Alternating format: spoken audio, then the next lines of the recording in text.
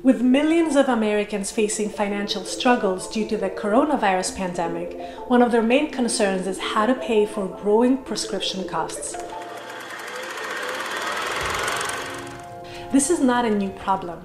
Even before the global health emergency, pharmaceutical companies started 2020 by raising drug costs by 5.8% on average. That's above wage growth and inflation and it's not projected to slow down anytime soon. In fact, out of pocket drug costs are expected to rise by 25% in the next five years. It's no surprise that nearly 8 in 10 Americans blame rising healthcare costs on drug industry profits. Drug pricing in the US is famously opaque, involving many different players. The drug manufacturers, the health insurance companies, the pharmacy benefit managers, and the pharmacies, just to name a few. In recent years, a series of tech startups have come into the industry hoping to disrupt it.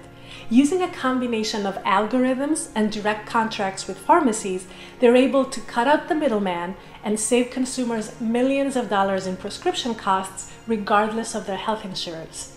In fact, even if they have insurance, it might be cheaper not to use it. Two people, same prescription, one has insurance, one doesn't.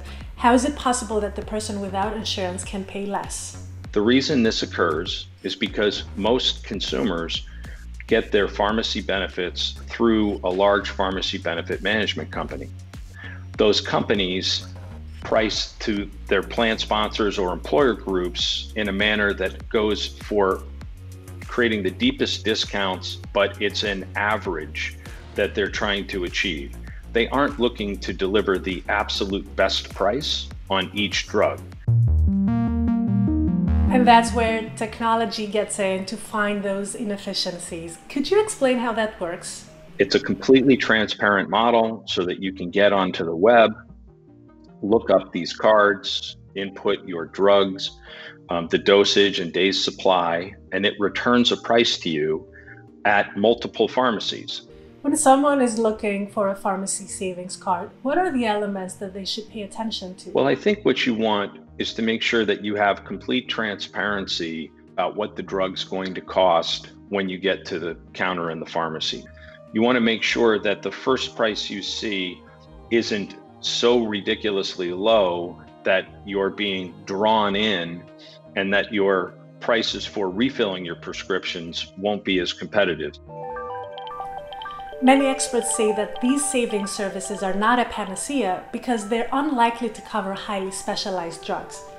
But with one in four Americans saying they cannot afford their prescriptions, it's becoming clear that every dollar counts and it's worth considering all the options to secure savings.